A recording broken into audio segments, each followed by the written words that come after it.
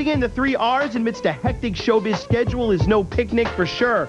But nothing could keep Dream from their educational field trip. We're working and going on tour, and we would have to do school in a van on our way to somewhere. We would meet all together at, at like McDonald's and have school sometimes. You know, where there's a will, there's a way.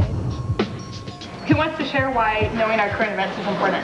I think it's important because uh, it's good to know what's going on in your world around you so that you can make the right decisions. Like I'm 18, so who should I vote for? The wonderful thing about being tutors for us as a group is that it helps us to be, to be more of a group because she teaches us how to learn together. Thanks, teach. Thanks, teach. Nice to. School's over. The only downside of our kind of schooling is we missed out on the regular dating scene.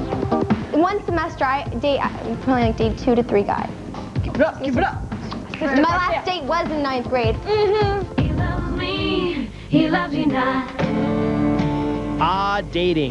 Perhaps the biggest downside of taking your learning to go is missing out on the biggest date night of all, the senior prom.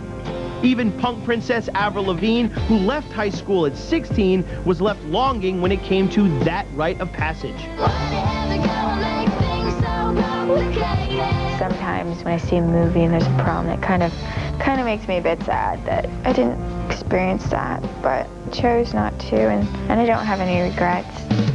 And neither do the members of Dream. Squeezing school time in between concert dates has certainly paid off for these ladies. All but Kasey, the newest and youngest member of the group, recently realized an altogether different teenage milestone. So we got something in the mail today, and it's called a diploma. Woo! This is an incredible experience, and I'm getting an education on something I would never know otherwise, but I definitely want to have a college education. Holly's not the only young celeb whose plans include higher ed.